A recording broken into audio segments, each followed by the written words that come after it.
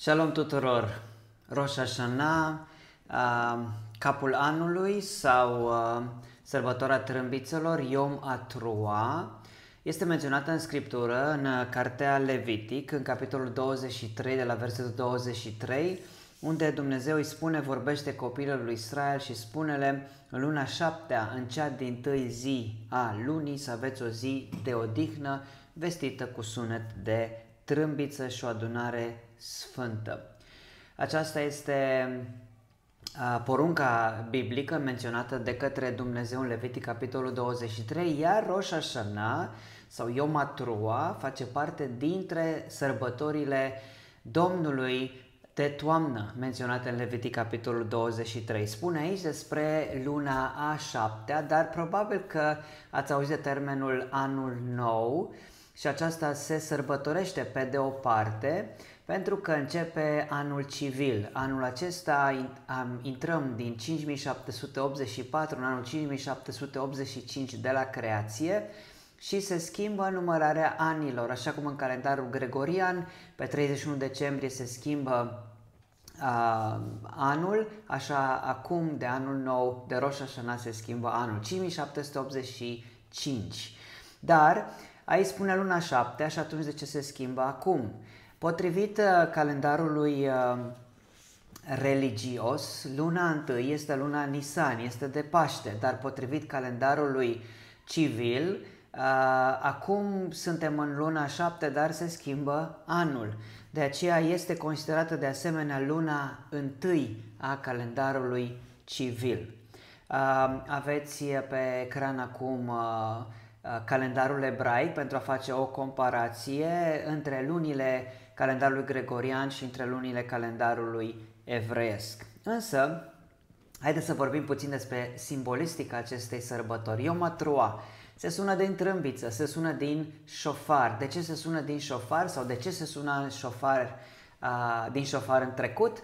Atunci când se începea un sezon nou, atunci când se începea un anotimp nou, atunci când era o veste nouă, uh, întotdeauna se suna din șofar. Și lucrul acesta uh, ne amintește de crearea omului. De fapt, acum, cu ocazia acestei sărbători, evreii își amintesc de crearea omului, crearea lui Adam și crearea Evei.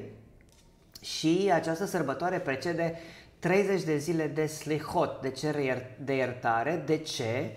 Pentru că Adam și Eva au fost primii oameni care au fost puși în grădina Edenului, însă au păcătuit.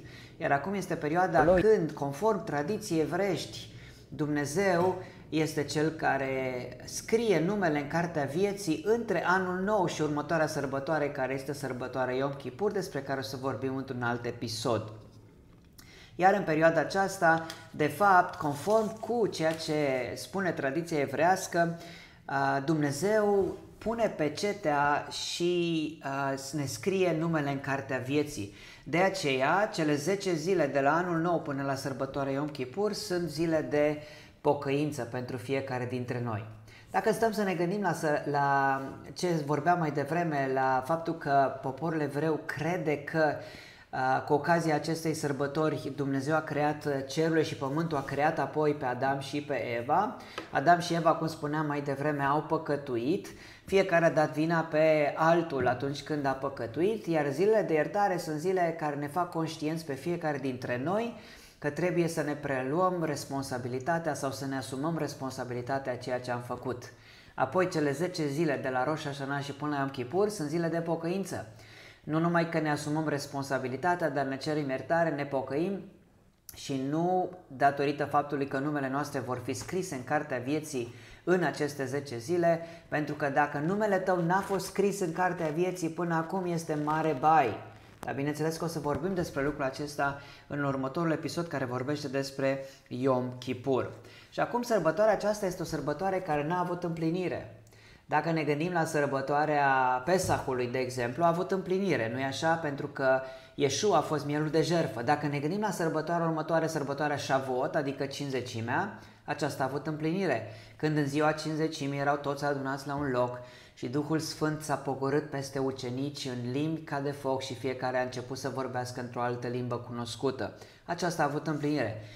Rosh Hashanah sau sărbătoarea trâmbițelor, Yom Trua, nu are împlinire încă.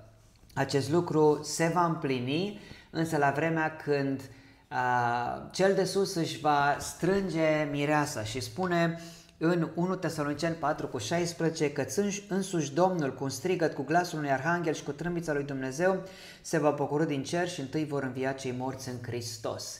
Atunci va avea împlinirea această sărbătoare la sunetul de trâmbiță, apoi în 1 Corinteni 15, într-o clipă, într-o clipită din ochi, la cea din urmă trâmbiță, trâmbița va suna, morții vor învia nesupuși putrezirii și noi, cei care vom fi în viață, vom fi schimbați. Așa că, cu ocazia acestei sărbători, așa cum mulți o numesc Rosh Hashanah, dar ea se numește de fapt Yom Trua sau sărbătoarea trâmbițelor, vreau să ne întrebăm pe fiecare dintre noi dacă suntem gata pentru sărbătoarea trâmbițelor care va urma. Nu știm când va veni sărbătoarea aceasta trâmbițelor, dar suntem siguri, sigur că va veni. Ce fac evrei cu ocazia acestor sărbători? Revin, se își cer iertare, se pocăiesc, iar apoi vor ca anul în care intrăm să fie un an bun, un an mai dulce decât mierea. De aceea se consumă rodii, rimonim, și de aceea se consumă mere. Merele acestea se taie în felii și apoi se înmoaie în miere și ne urăm fiecare dintre noi unul altuia un an dulce, mai bun, mai bun și mai dulce decât mierea.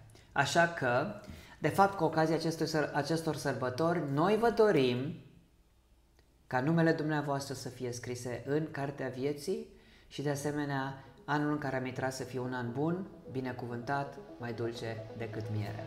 Daniel Stanger, din Israel.